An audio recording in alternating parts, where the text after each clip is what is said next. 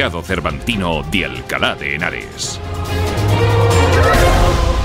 Antes de la revolución industrial, el oficio de herrero era esencial en cualquier aldea, pero a día de hoy en Occidente es algo prácticamente a extinguir. Por eso muchos de esos herreros se han reconvertido en artesanos de bisutería, de espadas. Cuéntanos, Darío, ¿qué es lo que hace Fragua Segovia?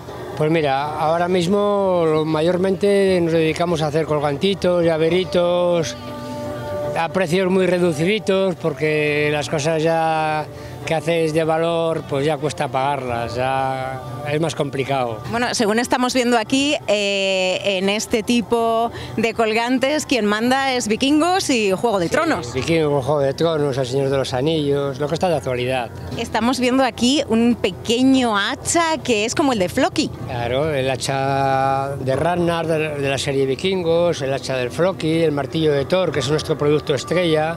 Grabamos el nombre en el martillito a los nenes les vale para las llaves, sobre todo lo cuelgan en la mochila del cole, lo llevan mucho para la mochila del cole, para colgarlo en la cremallera, con el nombrecito, les hace mucha ilusión. Está todo hecho a mano, cortadito, soldadito, sí, tiene su historia, claro. ¿Y qué materiales son? Es hierro, es hierro mm, con un tratamiento que se llama pavonado, por eso está así negro.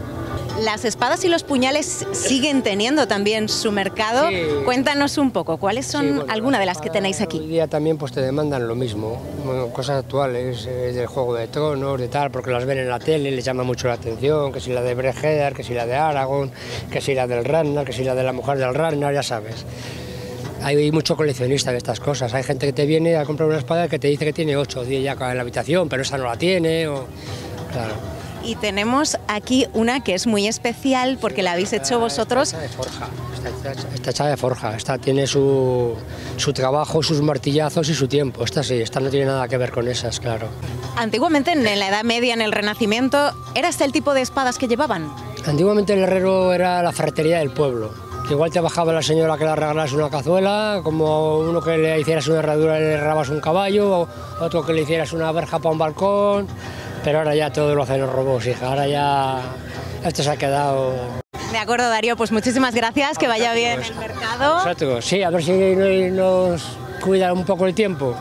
y a seguir manteniendo ese oficio tan artesanal y tan bonito. Porque la descendencia ya, estas cosas ya no las quiere. Ya nadie se queda en el pueblo ni en ningún lado, claro. ¿Quién sabe? ¿Quién sabe? Todo está cambiando.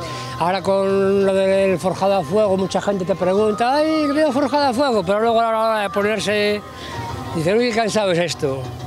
Ya sabes. Darío, lo dicho, muchas gracias. Muy amables, gracias. Hasta luego.